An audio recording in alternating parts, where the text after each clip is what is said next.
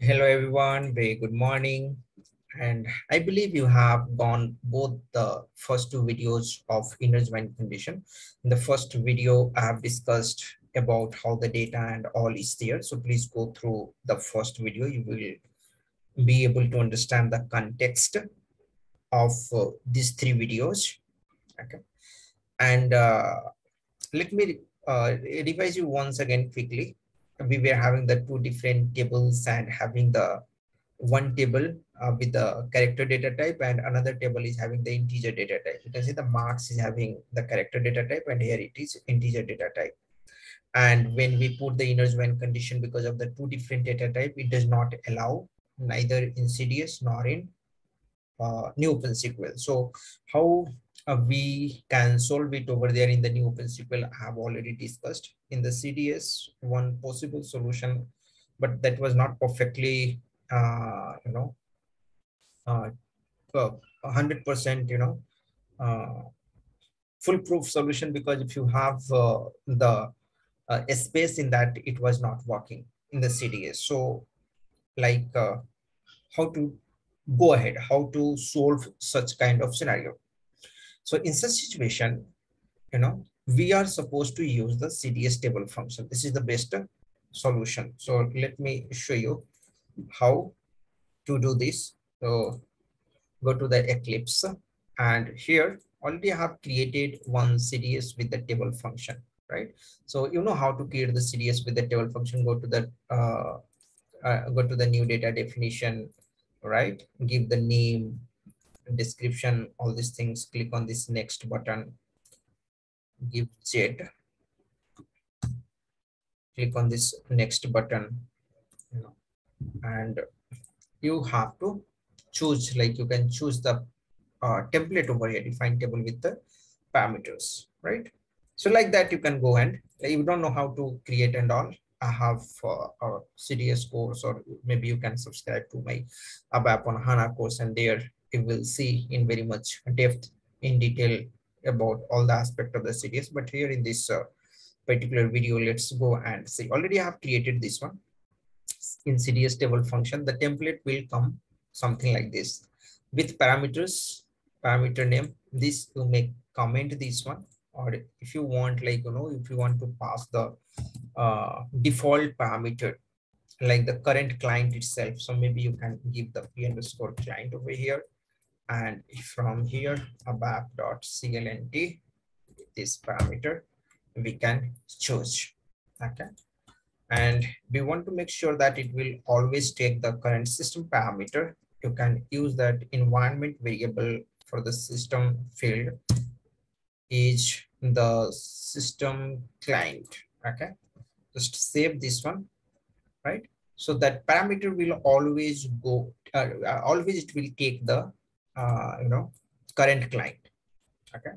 And now you have to create one uh, AMDP class in that uh, AMDP function need to be create with this get underscore data, right?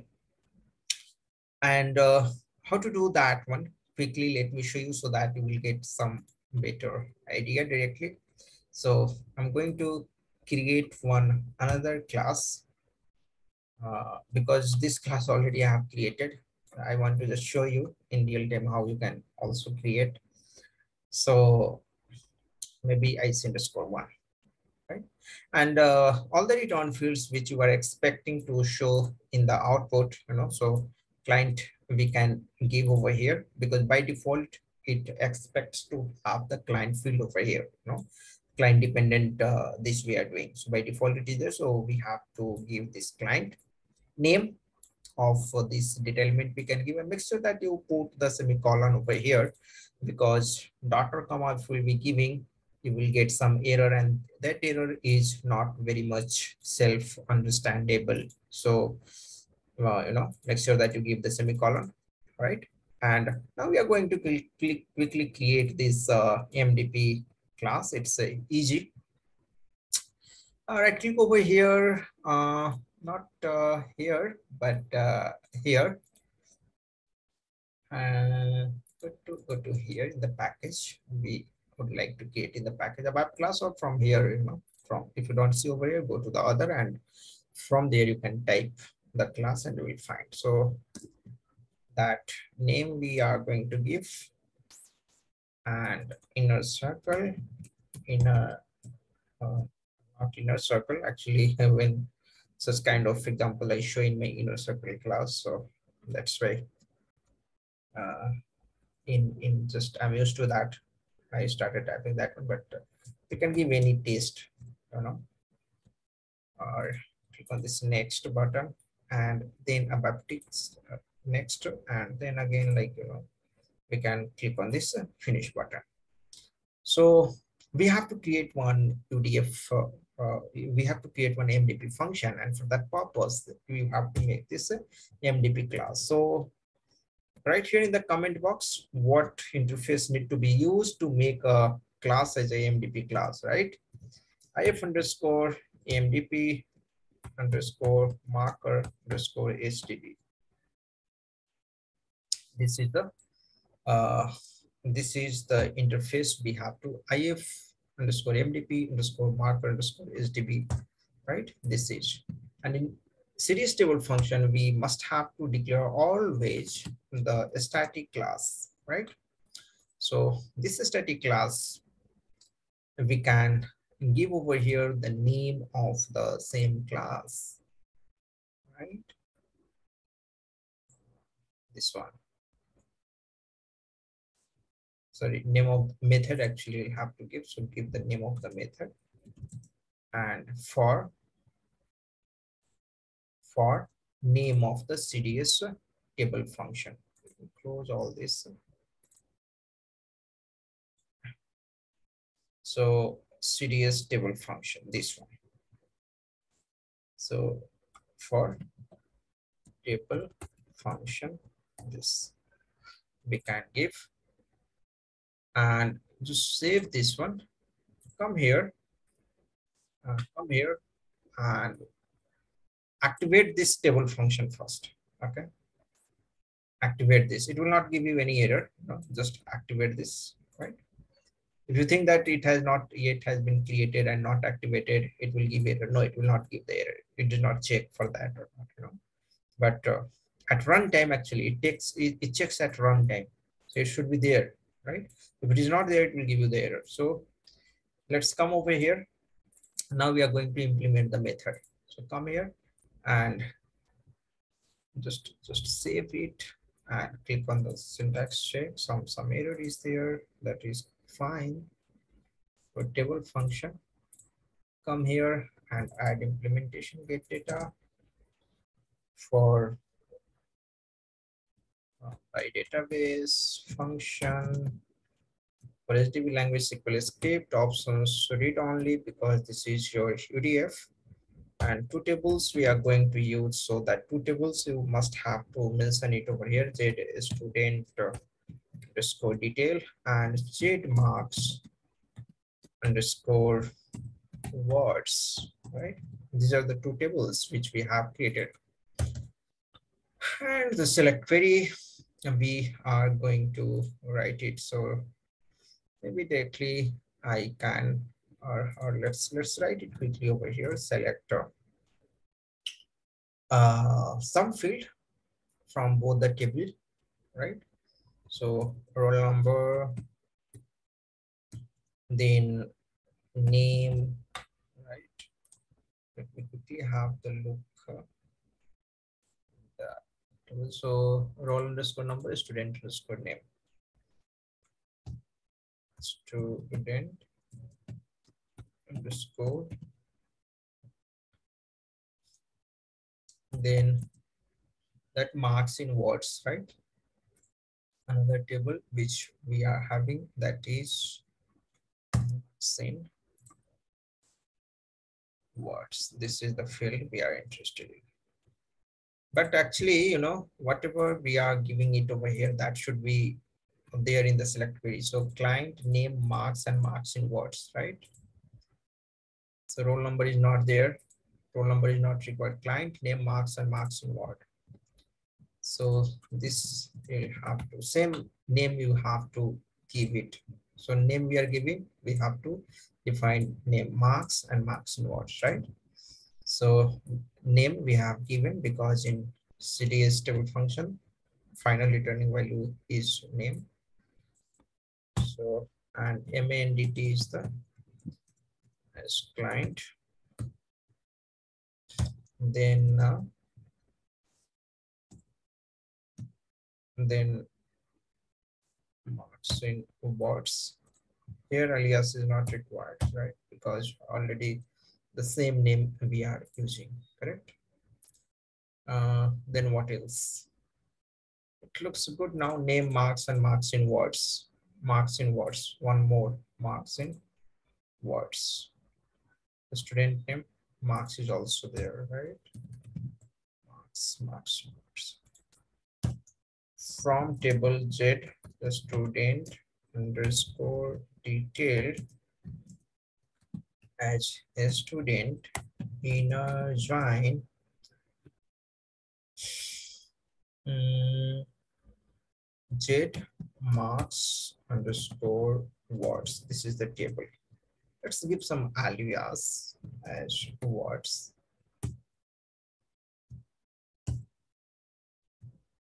So MANDT we can get it from any of the here a student name.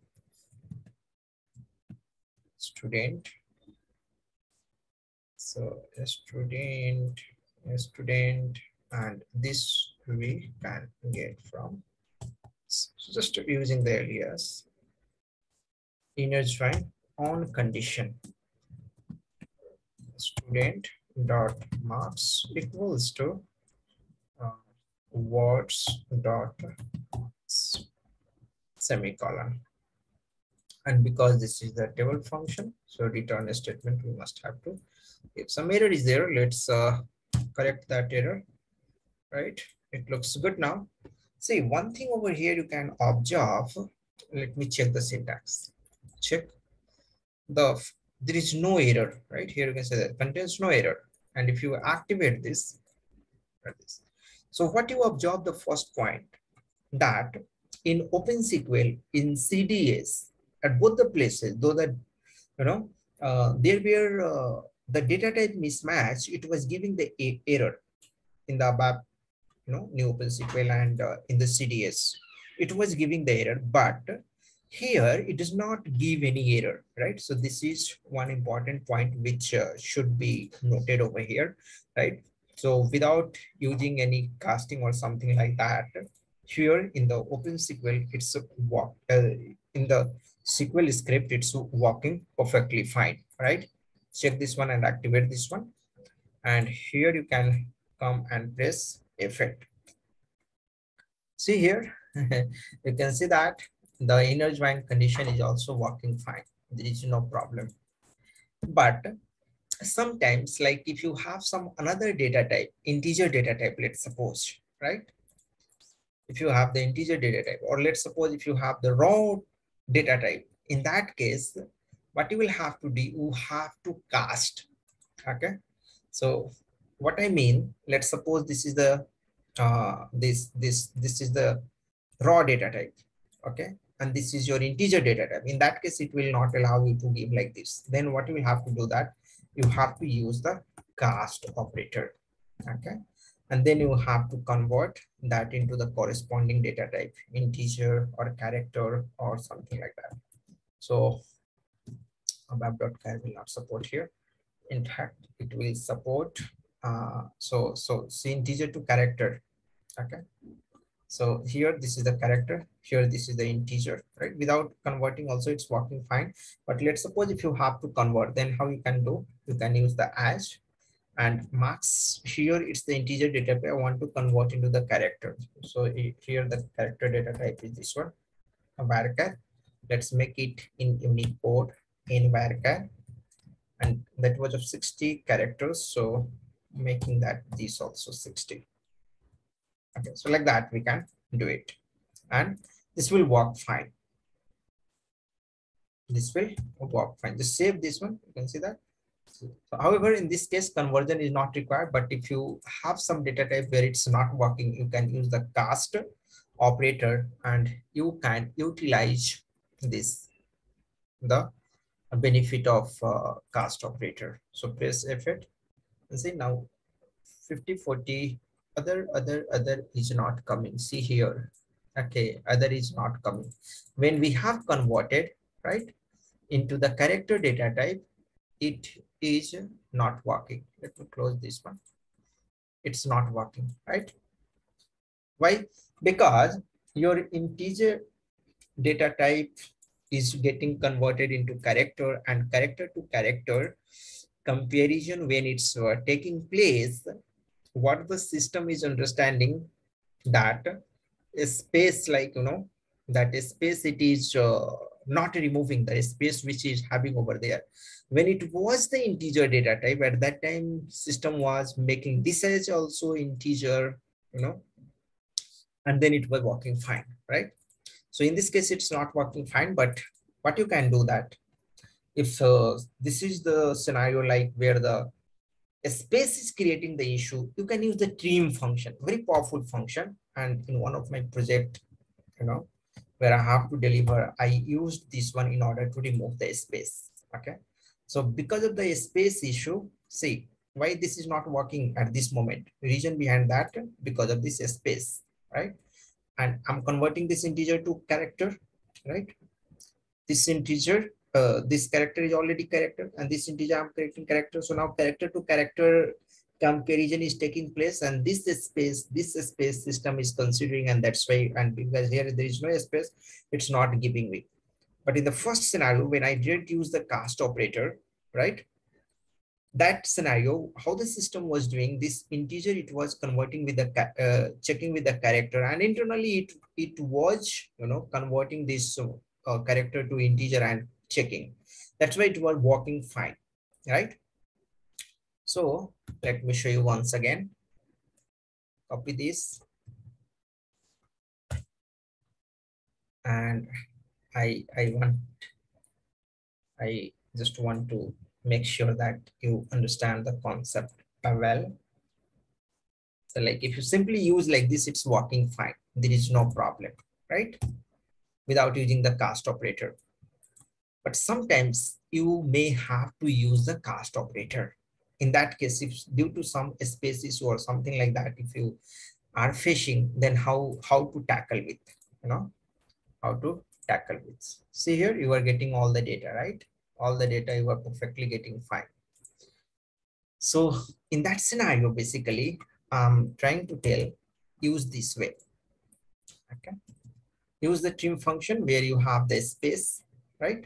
And let's suppose if you were there in the integer data type, right? An integer data type, if you have some space, there comes sometimes you will see that the integer data type, some unknown space is there from the left. There, first convert into the character data type, and then you can use the trim, uh, trim, right? Or else directly a trim uh, with integer. I'm not sure if it's going to work or not. Trim directly with integer. Maybe we can check that one. So here, let's suppose if you're going to use the trim function, just, just checking, you know, here, here not required trim because our data is good. Looks like this is fine, right?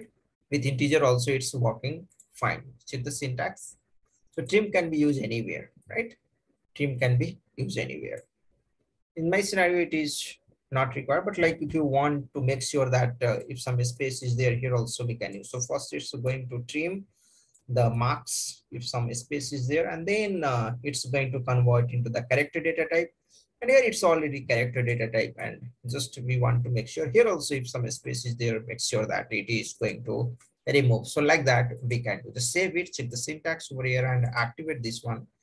And now come over here and press F8 and you can see that all the records is again coming now perfectly. There is no problem one another tips I would like to share over here, which uh, I have come across. What happens that that uh, you know in this integer data type, I were having some negative value. Okay, I were having some negative value, and negative value at the database layer, you know, in the web application server, it stores like 100 minus 200 minus something like that. right? So when I was converting from integer to character, this minus were we are taking as a you know uh, character. It were getting converted as a character, right? And here, though we were having again minus 100, minus 200, you know, it was not taking place. System was not able to compare that. So in that situation, what we are supposed to do, simply multiply with one, okay? Simply multiply one so that system will understand, okay, you know, system will understand that it has to be first converted into integer or some internal manipulation happens and it will give you the correct result. Again, it will depend, uh, you know, case to case. But in my case, when I face that particular issue, I simply multiplied with one, right? And it started working fine for me. I was not able to replicate the scenario over here, right? Because in those table, those table were belonging from the, uh, you know, MDG table. Okay, so uh, USMD uh, one, two, uh, three, something like that. The table was there. Uh, then USMD, I think one to see also one more table. So like that, I was having the different different uh, table over there, and data was you know having some issue, and I had to create one CDS report, and that's where I was facing the issue. And this is how I was able to do. So like if you want to you know uh, multiply it multiply uh, it with the one here you know so after multiplying this value with one we can trim right we can trim like this this is completely possible right so simply what i did that uh, where that uh, this minus minus was coming i simply multiplied with this uh, one right? So if you are also facing such kind of issue, maybe you can give it try by multiplying with one if the comparison is not taking place uh, correctly. Another solution was using the like operator, but there was no guarantee that that is going to give you the correct result. Okay, so let's let me not make it uh, more complex. The simple thing is that if some minus is over here in the marks, and here also you are having the minus, like you know, minus 100, then minus 200 right it is possible it is a character data type you can put it minus. and here it is an integer data type 100 minus 200 minus if something like this data is stored and if you're converting this integer to character data type and then you are putting uh you know the comparison over there and if it's not working then here you know in the integer one you can try by multiplying uh, after doing the casting then multiply with one right like this like I'm casting, right? And after casting, just I will multiply with the one over here, right? So casting and simply I will multiply and put it like this. So this is what actually I'm trying to uh, share with you. Okay. So simply, so what it will do, it will make sure that it is going to be integer because you are going to put uh, into one, right? Into one means system will understand, okay, you are putting some mathematical operation. That means some numeric data type is there, right? And it will again compare with the, uh, this, this character will get converted into the numeric and taking uh, comparison at, uh, taking confusion properly, right? and will give us the correct result. So if you also come across this kind of situation, please feel free to share in the comment box and other will also learn. I will also learn from your comment. So this is what I wanted to share in this ABAP tips. Hope you found uh, it useful. If you found you it useful, feel free to write here in the comment box that useful, right? It will, it will motivate me more to prepare such videos, right?